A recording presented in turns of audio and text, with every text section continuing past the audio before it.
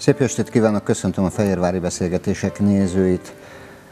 Egy kisfiúról fogunk beszélgetni, aki elhatározta, hogy futbalista lett, és az is lett, méghozzá nem akármilyen. Egy legendát köszöntünk ma a stúdióban, Tiber Lászlót, aki a 70. születésnapját ünnepel, ünnepli, rövidesen. Szervusz Laci, gratulálok még egyszer. Szervusz, jó estét kívánok, köszönöm szépen. Mielőtt belevágunk, azért kicsit beszéljünk az öltözékedről, mert ez nagyon fontos. Ha megnézzük itt, James Dean köszön nekünk vissza, akinek egy kicsit olyan a pályafutása, a színvészi pályafutása, mint a te időszakod, tehát fantasztikus. Beszéljünk elő a Pólóról és James Deanről Igen, kicsit. elnézést kérek a nézőktől, talán jobban is felöltözhettem volna a felvétel kapcsán, de szándékosan vettem fel a James Dean pólót, mert alapvetően meghatározta az életem. James Dean ugye 1931-től 1955-ig, tehát 24 évet élt, és a mai napig egy szexszimbólum az amerikai fiatalok számára. A méltatlanul korán, tehát 24 évesen halt meg, négy filmje volt, talán a, az Észak és Dél, amiben befutott és világhírű lett, de talán szerénytelenség nélkül mondhatom, hogy kicsit meghatározta az én életem is, fiatalkori életem mindenképpen az ő életvitele. Talán hadd mondjak el egy örökbecsű mondását, amelyik így szól, hogy álmodj úgy, mintha örökké élnél, és élj úgy, mintha ma meghalnál. Hát igen, azt, azt tudjuk, minden... hogy így, így élt. Igen. Minden egyes pillanatát kihasználta az életnek. No, hát a kapcsolódási pontról ennyit. No de, nekünk pedig az a dolgunk, hogy egy kicsit megitmertessük. Nem a múltban révedezésről van itt szó, hanem sokkal inkább arról, hogy a legendák múltja az, ami jelenünk. Méghozzá nagyon fontos a jelenünkben. Példákat tudunk mondani erre, példaképek vagytok, hiszen azért valljuk meg, a labdarúgás mindig az egyik legfontosabb, sőt a legfontosabb sportág volt Fehérváron, és a te életed, a labdarúgó pályafutásod pedig példa arra, hogy elindulva valahonnét, hogy lehet ezt végigvinni a legmagasabb szintig.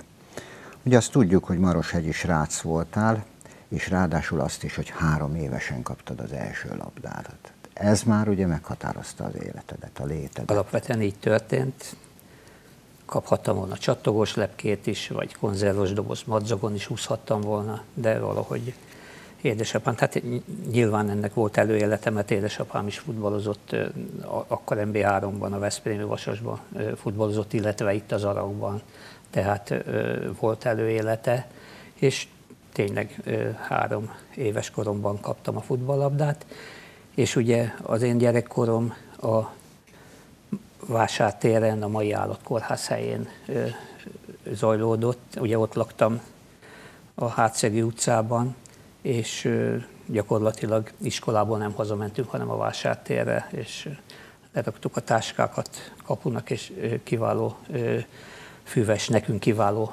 füves göröngyös pályánk volt, és, és azon rúgtuk a labdát napestig, hát gyakorlatilag még be nem sötétedett, vagy ki nem jött értünk édesanyánk, és beterelt bennünket. Hát ugye más volt a világ. Kiderült, hogy gyors vagy, tehetséges vagy, és nem zavar a labda, sőt, mit nem mondjak. Ami azt jelentette az akkori Székesfehérváron, kevesen beszélnek már róla, rengeteg futballcsapat volt. Ott volt a Spari, a Köfém, az Alba Régia, a videóton természetesen a Mávelőre, a KSG, a, KSG, a Szondi. Az hét Fehér megyei, hét Fehérvári csapat volt a megyei első osztály. Igen. Hihetetlen merítési lehetőség. No. És érdekes mindegyikben ott voltak a fej, nem vidéki játékosok, meg külföldiek, hanem fehérvári, fehérvári játékosok játszottak. A te utad egyenes volt, ugye erről ezt már harmadszor mondom, tehát nyilvánvaló, hogy gyorsan felfedezték a tehetségedet. Itt meg kell említsünk, nincs már velünk Csiszár István Guszti bácsi, Guszti bácsi, akinek több száz NB1-es futbalistát köszönhetünk, fantasztikus szeme volt. Fantasztikus szeme volt. Igen, hát a Guszti bácsi ugye a, a, a mai értelemben vett játékos megfigyelő volt talán. Tehát a, a, abban a hőskorban, a 60-as években ö, hallott egy, egy, egy ifjúsági tornáról, mondjuk Nyíregyházán vagy Szombathelyen, akkor felült a vonatra, vagy felült a buszra, és, és, és elment. És, és megnézte, nagyon jó szeme volt, nagyon jó meglátásai voltak, nagyon jó dumája volt, ha szabad így mondani. A, a szülőket meggyőzte, hogy jó helyre kerül, hogyha Fehérvárra kerül.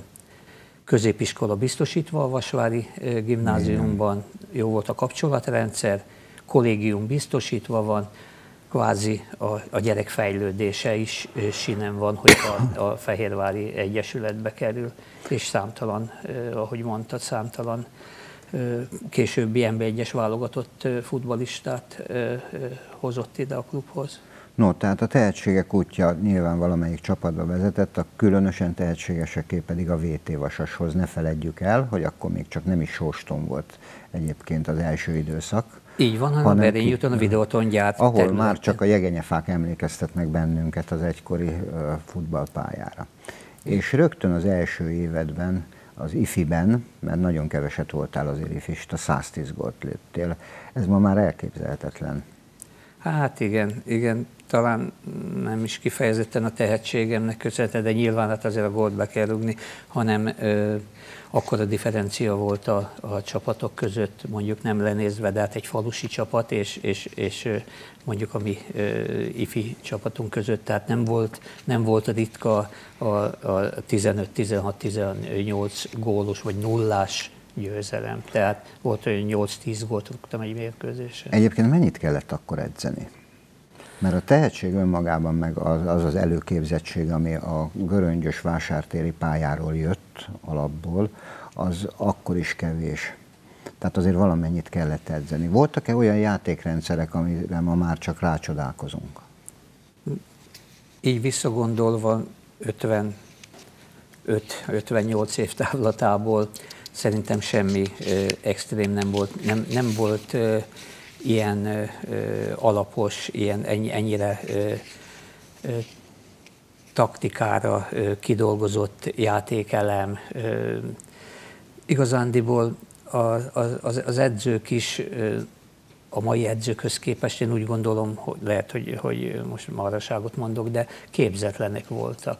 Tehát nem voltak annyira iskolázottak, nem volt akkor a szakirodalom, ők is a múltból merítettek, a, a, a, a, a, a kortársaiból, vagy, vagy a, a, a, az őket ö, ö, megelőző korosztályból különböző edzésmódszerek, nagyon kevés ö, szakanyag ö, volt ö, ö, ugye ö, állt rendelkezésre.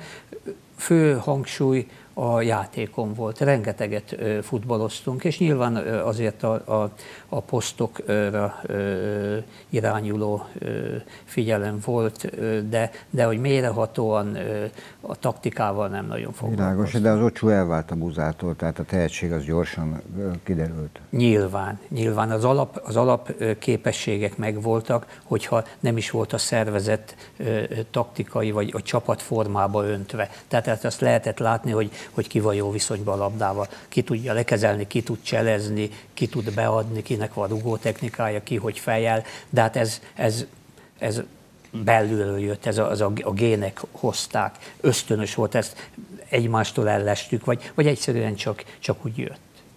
Ugye egyértelmű volt, hogy felfelé áramlik a tehetség, tehát ez azt jelentette, hogy a Spariból nem lettetek NBA-ármasok, egy, egyértelmű volt. De miért a mávelőrét választottad először?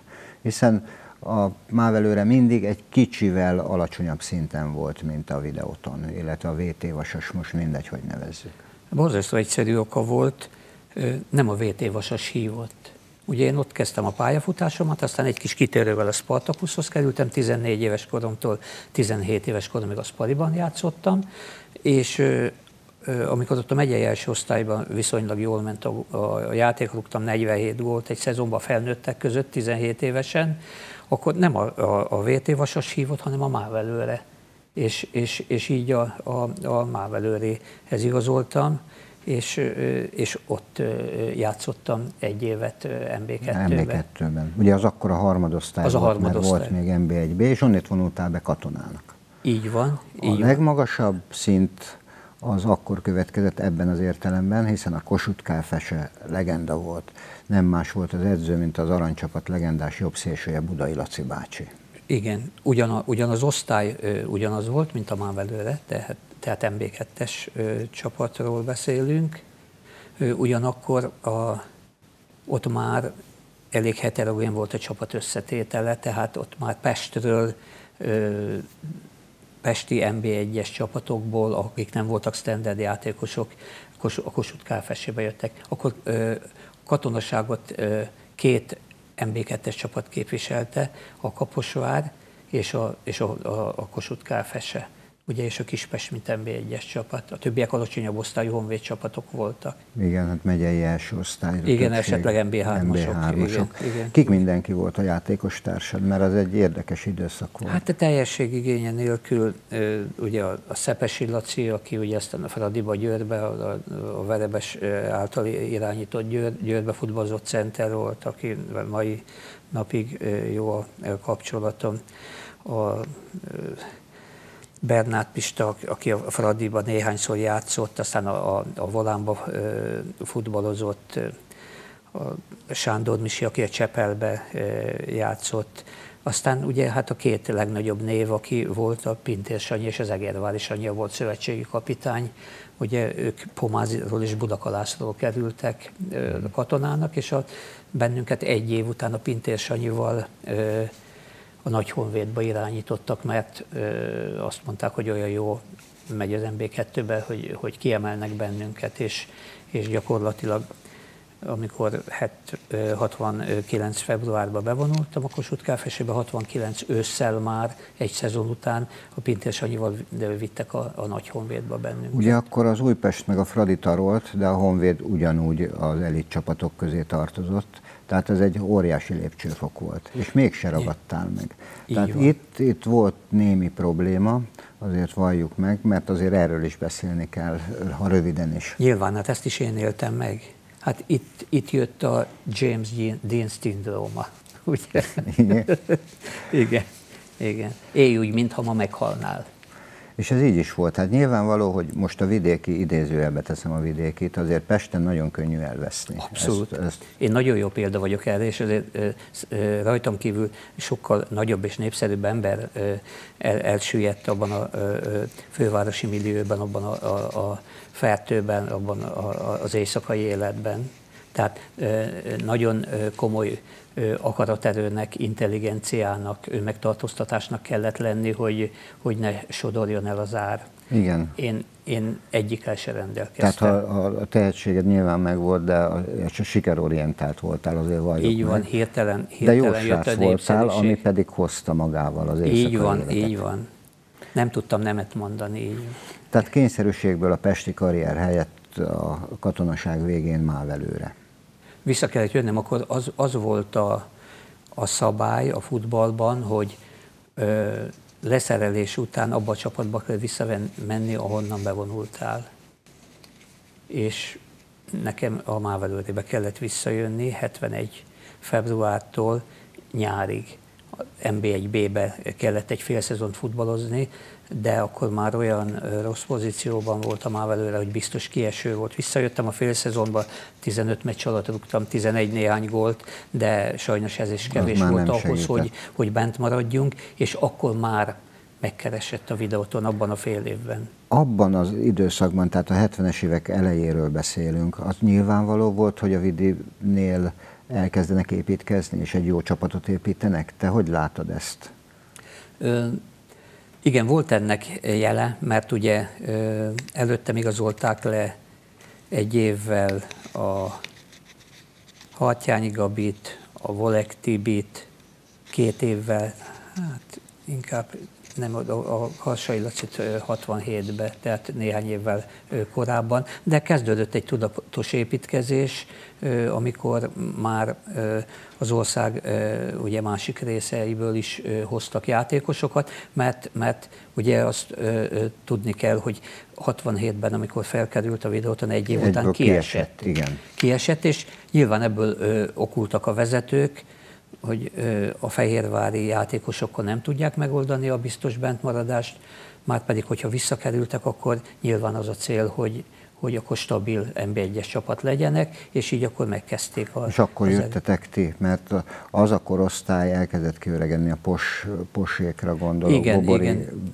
Bobori Béla. Béla. Akkor ők már, már, már nem játszottak, a Posferivel még, még játszottam, Burka Imrével, és akkor ők, a Hartyányi Gabiék, akkor ők átmentek a Mávelőrébe, és akkor több játékos elhagyta a klubot, akik nem voltak standardek, és ö, hozták ö, helyettük a, a vagy az ifiből ugye hozták fel a játékosokat, illetve gondolok itt a, a, a, a 74-75-ös időszakra, amikor már a Végtibit, a Csográdit, Igen, akkor az 56-os szül, ja, születésűeket. Ők voltak 18 éves. Így van, így van, őket akkor, akkor hozták fel, és akkor itt már egy ilyen ö, tudatos ö, építkezésről és beszélhetünk. És akkor ti meg már ott voltatok kész futbalistaként, kész, tehát azt mondom, hogy válogatott, közeli válogatott szintű futbalistaként a Gunár, Nagy Három, Nagy Kovács Kettő, Józsi, Kovács Józsi, Fejes Gabi, Sunyi, Karsai Laci, te magad. Ceceli Karcsi. Ceceli Karcsi. Igen. A fantasztikus ballábával. Igen. Tehát ez egy, épült a csapat. És ideális Viszont... Kovács Laci a kapuban, igen. korosztály ideális volt. Ugye a 47, 48, 49 50-51-es születésűek, és ehhez jött az 56-os születésű generáció, Májer Szabó, Vég, Tibi, Csongrádi, ez a, ez a négyes, akik 56-ban születtek. Tehát ők, már bocsánat, de nekik volt kitől tanulni. Mennyit segített, hogy változtak, tehát jöttek edzők is? Tehát olyan edzők, itt már Szinte Kovács Imrére például senki nem emlékszik, mert mindenki a Kovács Feri bácsiról beszél, holott egy zseniális edző volt. Így van. Így van. Én akkor jöttem ide, már a videótonhoz, amikor Kovács Ferivel még én tárgyaltam, és érdekes nyáron már nem ő volt az edző, hanem a Kalocsai Géza bácsi. Tehát kialakult a, a két korosztályból egy zseniális csapat. Igen. Ez volt az ominózus, most nem nagyon menjünk bele, hiszen születésnapról beszélünk. A, ugye az elcsalt bajnoki cím. Mindenkinek ez jut eszébe, Igen. bár azt mondom, hogy bárcsak beszélhetnénk ilyesmiről mostanság is, mert hogy majd erre később rátérünk, hogy méltatlanul keveset foglalkozik a, ezzel a labdarúgó múlttal ma a közvélemény nem tudom, hogy mi az oka, illetve tudom úgy nagyjából, de talán többet kéne rólatok beszélni. De ez a 75-76-os csapat zseniális volt. Leginkább azért, mert sokan bekerültetek a válogatottba, a válogatott közelébe. Elképzelhetetlen merítési lehetősége lehetett a szövetségi kapitánynak, mondom én. Így van, nagyon jól mondod. Még egyszer mondom, ideális volt életkorban, ideális volt játéktudásban akkor a mi csapatunk. Tehát 25, 26, 28 éves futbalistákról beszélünk, életeteljükbe voltak, vagy voltunk, és, és nem utolsó sorban még talán futballozni is tudtunk. Igen, én még emlékszem rá egyértelmű, hogy a tartalékbajnoki mérkőzéseken 3-4 ezer ember volt, kérem szépen. És csak egy salakos pálya volt, meg a Spari pálya szemben, a másik oldalon, ahol most a, a műfüves pálya, pálya van, meg Igen. a tornacsarnok. Igen. És legendának tekintettek benneteket. Az utcán, a belvárosban megállt az élet. Ha ti jöttetek, egyrészt a Sunyi volt a leginkább feltűnő, hiszen neki egy földig érő farmer kabátja volt, ami egy legenda ma is. De hát ti ugyanígy voltatok, megállt az élet szabályosan. És most elmondom, amire az előbb utaltam, hogy körülbelül két hónapja a videóton futbalisták, akik, mint tudjuk, jelen pillanatban nem élnek Székesfehérváron, öten családostól a legnagyobb meglepetésemre egy péntek estén a belvárosban sétáltak, ahol már jó idő volt, tehát egy hónapja körülbelül, vagy öt hete, és jöttek öten családostól. És tele volt a belváros, és senki nem tudta, hogy kik ők. Most neveket nem mondok, de a délszláv különítmény volt. Családostól, kisgyerekekkel. És akkor visszaemlékeztem, és egy barátommal beszéltük pont, hogy ha ez előfordult volna annak idején, hogy a belvárosban, a főutcán jön a, a Tiber Laca, a Sunyi Karsai Laci, fejes vagy akárki még, akkor megállt volna az élet. Tehát ennyit változott a világ. Mint ahogy szerencsére meg is állt, volt szerencsére. Igen, megállt az élet akkoriban. Igen. No, tehát a szövetségi kapitányoknál tartunk, hogy rendkívüli merítési lehetőségek voltak. Ne feledjük, hogy 78-ban azért ott voltunk Argentinában a világbajnokságban, 82-ben nem különben. De mi a helyzet a te válogatottságoddal? Igen, jó, hogy említetted a 78-at. Az nekem ö, személy szerint egy kiemelkedően jó éven volt a 78, és ö, ugye ez az argentinai világbajnokság éve volt, és ha jók voltak az információim, az összes vízumon meg volt Argentinára.